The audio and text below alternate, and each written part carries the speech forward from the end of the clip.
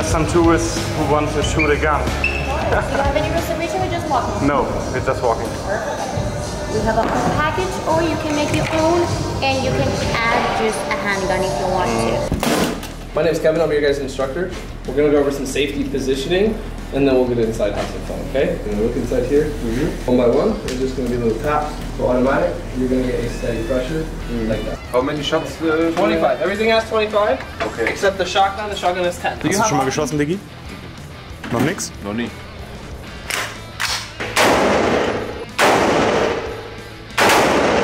Yeah, it's very impressive. It is like, boah. I always play oh. it in Counter Strike. Yeah. Yeah, and now it's like real Now you life. shot the real one. Very big caliber, 7.62 by 39, even bigger than the 5.56. Good. Now rack it back.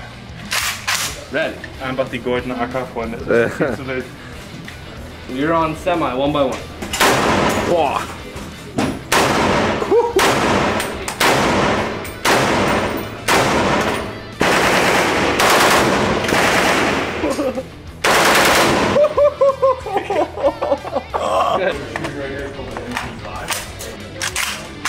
Stell dir vor, so haben die äh, damals im Krieg gekämpft, ne? Bam, bam, bam, bam, bam, bam, bam. Was für damals, Diggi.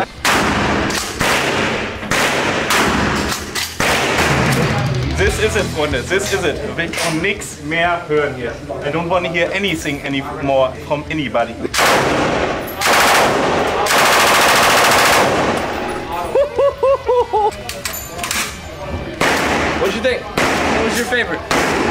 BAK. Yeah? Yeah, most fun. Boah, Junge, Alter. Ja, Freunde, gehört zum standesgemäßen äh, Amerika-Urlaub eigentlich dazu fast schon, ne?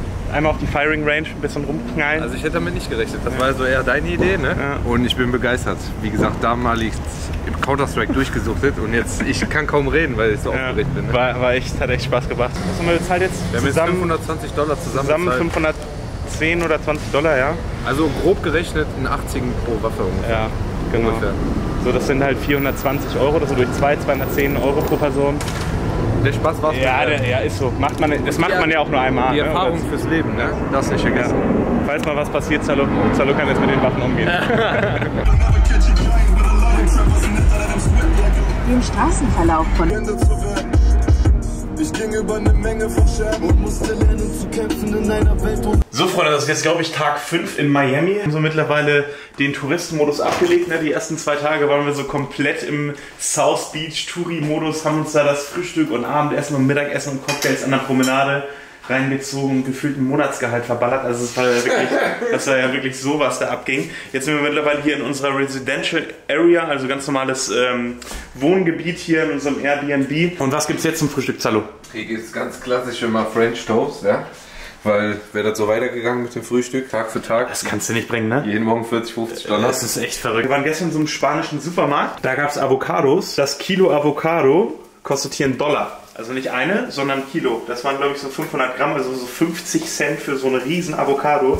Verrückt, werde ich mir auf jeden Fall jetzt jeden Tag ziehen. Wir haben leider kein Salz und Pfeffer, aber sieht gut aus. Und äh, als neue Miami Residentials wollen wir natürlich auch nicht ewig mit dem Mietwagen rumfahren, Zallo, ne? Das heißt, wir, ja, wir müssen natürlich jetzt mal gucken, Wie? wie kauft so ein Amerikaner ein Auto, ne?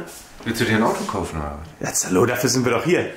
Komm, irgendwo, irgendwo muss die Arbeit ja bleiben. Der Content darf ja auch nicht ganz. Äh, die Leute wollen ja nicht nur ewig sehen, wie du dich da auf irgendeinem Partystrip rumtreibst jede Nacht, mein Lieber. Und deswegen bin ich jetzt hier gerade mal am Schauen. Ich würde sagen, wir verschaffen uns erstmal so einen kleinen Überblick, wie man überhaupt Autos kauft in Amerika. Und zwar ist ja da allzeit bekannt die gute alte Craigslist-Seite. Das ist eigentlich so mehr oder weniger wie bei uns Kleinanzeigen. Da kannst du hier halt deine Gegend einstellen und halt nach dem sortieren, was du hier suchst. Da inserieren halt sowohl Privatleute als auch Händler ihre Autos rein. Dann gibt es hier Autotempest, das ist so eine Seite, so eine Vergleichsseite, die zieht von, von diesen ganzen Online-Portalen quasi die Autos rüber. Copa, das ist ein Auktionsportal, da sind hauptsächlich äh, ja, ältere Fahrzeuge und Unfallfahrzeuge. Ne, da zieht der Zallo seine Autos auch immer her, oder? Die ganzen Flutschäden, Das werden wir uns auf jeden Fall auch mal die anschauen. ganzen Totalschäden, äh, die du dir in Deutschland so gezogen hast, die kamen alle. Ja. Da wir uns die mal, dass wir uns die diesmal selber ziehen können, Ja, weißt du? genau. Das Geile an Amerika ist halt, dass du Carfax hast, ne? Das ist so eine Seite, da kannst du quasi über die Fahrgestellnummer jedes Auto, also ne, das ist ein zentrales Register, da werden die ganzen Unfallschäden, wenn ein Auto gestohlen wurde, auch Servicehistorie und so weiter, das ist alles hinterlegt. Da richtig informiert? Vorbesitzer, alles. ne? Wirklich Ja. alles. Jedes Detail, alles wird in den USA, das ist wirklich Wahnsinn, ähm, registermäßig aufgelistet. Ne? Da ist man also relativ auf der sicheren Seite oder man hat zumindest eine bessere Chance, die Fahrzeughistorie nachzuvollziehen als bei uns. Ja, bei uns ist ja auf gar nichts einfach. Und du darfst nicht vergessen, sobald ähm, der, das Fahrzeug einmal als Totalschaden deklariert wurde, darf es in den USA nicht mehr angemeldet werden. Ne? Das heißt, was bleibt übrig? Export. Ja, ich glaube, du kannst auch einen Salvage-Titel irgendwie wieder rekonstruieren. Also irgendwie geht das schon, aber es sind dann ganz miese Auflagen und das ist auch von Staat zu Staat unterschiedlich. Ja. Jedenfalls, Freunde, ich habe mir hier so einen Autohändler mal rausgesucht. Gateway Classic Cars ist eine ganz große Nummer, hat Filialen im ganzen Land. Showroom In- Inventory, dann seht ihr hier die ganzen Showrooms. Also die haben auf jeden Fall sehr viele Läden. Und in Fort Lauderdale, das hier relativ nah bei Miami, Miami ist, habe ich mir das Inventar mal durchgesehen und bin auf ein interessantes Fahrzeug gestoßen. Hier, bam!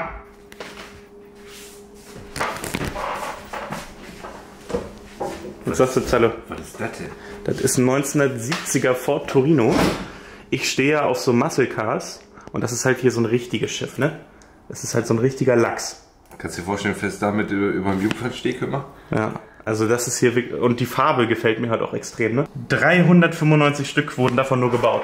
Es war ja bei den Amis so, dass früher, die haben jedes Jahr ein neues Modell rausgebracht, ne? Ja? Gefühlt jedes Jahr. Also in den 60ern, 70ern, da gab es von Impala, von jedem Modell gab es so gefühlt jedes Jahr ein Update und die Autos waren immer anders. Krass. Ja. Das ist krass. Schmeckt der Toast? Boah, brutal, guck dir das an. So, jetzt ist halt die Sache, Freunde. Wir können uns natürlich ein Auto raussuchen, ähm, um es nach Deutschland zu importieren. Das ist im Vergleich zu den Jahren zuvor mittlerweile, würde ich behaupten, relativ uninteressant, weil der Euro zu Dollarkurs zugunsten des Dollars halt sich geändert hat. Also der Euro hat quasi abgewertet. Plus jetzt aktuell die Transportpreise sind natürlich wie überall aus Japan auch enorm gestiegen. Das heißt, so vom finanziellen her ist es einfach nicht mehr so attraktiv wie früher. Aber was mich auch viel mehr reizt, ehrlich gesagt, ist, ich hätte, würde richtig gerne hier ein Auto kaufen. Am liebsten auch sowas Altes, so ein altes Muscle Car und würde halt so einen Roadtrip hier gerne machen.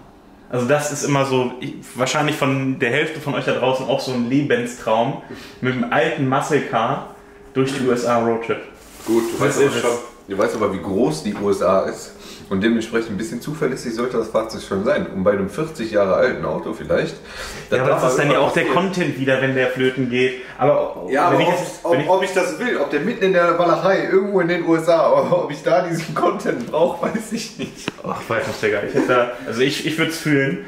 Ähm, das Problem ist halt so diese Cars, ne? auch die Preise. So die letzten zehn Jahre, weißt du, da hast du so alte Mustangs oder Camaros, Impalas, hast du ihn für 10.000 Dollar hier bekommen. Es geht wirklich los ab 40, 50.000 Dollar, wenn du halt ein Auto in sauberen Zustand haben willst. Und das ist schon, pff, das ist so viel Geld. Und dann musst du halt sehen, dann musst du es entweder hier wieder verkaufen oder, nach, oder dann nach Deutschland bringen. Ne? Also Ja. wenn du, wenn du so die Erinnerung hast mit so einem Fahrzeug, also das ist eigentlich hier Roadtrip machen, Erinnerung sammeln und dann die Karre nach Deutschland holen. Das ist es. Also da, das, das ist es einfach für mich persönlich. Müssen wir halt sehen, ob wir das irgendwie realisiert bekommen, weil das Hauptproblem dabei wird auf jeden Fall sein, die Karre hier irgendwie angemeldet zu bekommen. Ne? Man hat ja quasi als Deutscher hier nicht die Möglichkeit, das Fahrzeug selber auf sich zuzulassen. Ich glaube, es gibt... Guck mal hier, 1A-Zustand ist es aber auch nicht, ne? Dann kostet so ein Ding immer noch 34 Mücken. Man kann ihn als Deutscher ja hier nicht zulassen. Es gibt als Händler die Möglichkeit, glaube ich, so 30 Tageskennzeichen zu holen. Das heißt, wenn das Auto noch nicht zugelassen ist, wenn ein Auto, Kunde das Auto kauft, kann er sofort Kennzeichen ranklatschen. Das ist dann 30 Tage gültig. Und äh, das wäre mal interessant zu wissen, ob das gehen würde, dass man quasi 30 Tage die Zeit hat, hier so ein Roadtrip damit zu machen. Und ich würde sagen, das bringen wir jetzt erstmal in Erfahrung.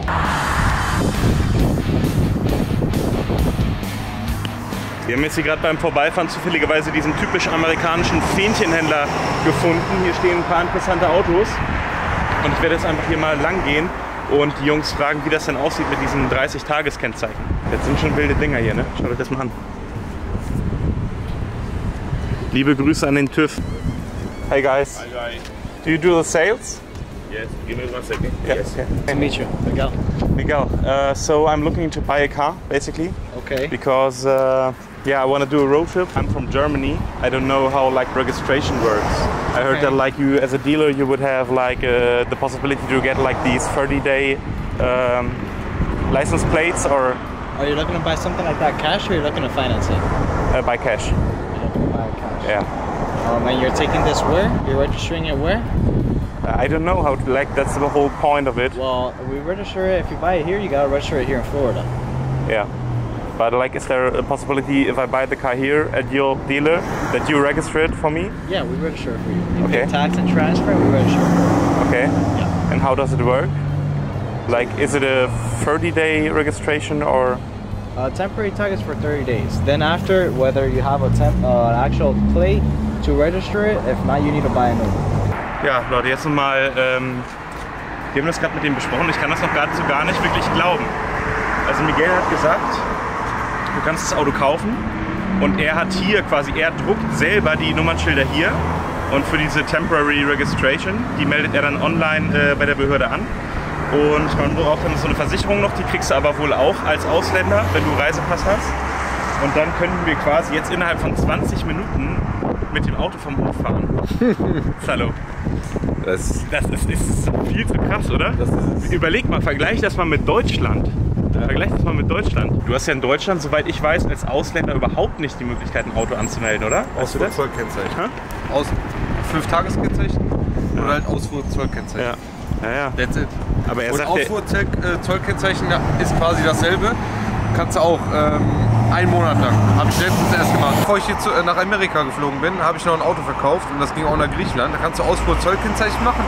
Da hat der Wagen dann einen Monat TÜV quasi, Versicherung ist alles all inclusive und die Kennzeichen kosten 300 Euro. wollen wir das Auto den Leuten mal kurz zeigen? Ich glaube, ihr habt das noch gar nicht so gesehen. Das ist ein 2015er Jeep Wrangler. Interessiert ihr dich wirklich? Der interessiert mich wirklich. Ist doch mega geil, die Karre, Alter. Ohne Scheiß jetzt? Nicht?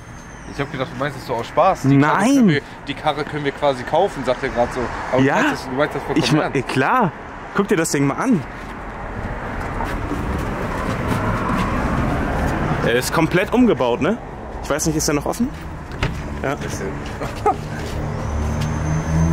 Neue Reifen. Die haben ja auch ein Soundsystem reingebaut und so.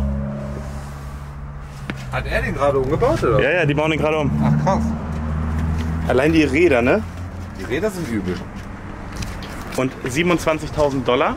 Glaube, Das müsste ungefähr so 24.000 Euro sein. Ja, aber du das, kannst das ist gar nicht so viel. Also in Deutschland kannst du es halt vergessen, ne? In Deutschland kannst du damit wieder nichts anfangen. Das ist leider das Traurige. Du jetzt nur hier wirklich rumcruisen willst, weil Fakt ist, du willst wieder zurück nach Deutschland, was machst du mit dem Auto? Entweder verkaufst du es schnell wieder in Amerika, ich glaube nicht, dass sie das so schnell verkauft bekommen, oder du lässt es exportieren und importieren nach Deutschland. Na gut, dann ist wieder die Frage mit der Zulassung der Teile, ne? Ganz sind genau. Bestimmt irgendwie Das- so, das da ist es dann wieder, safe kein? Gutachten irgendwie. Ah, Zallo, Zallo, Zallo.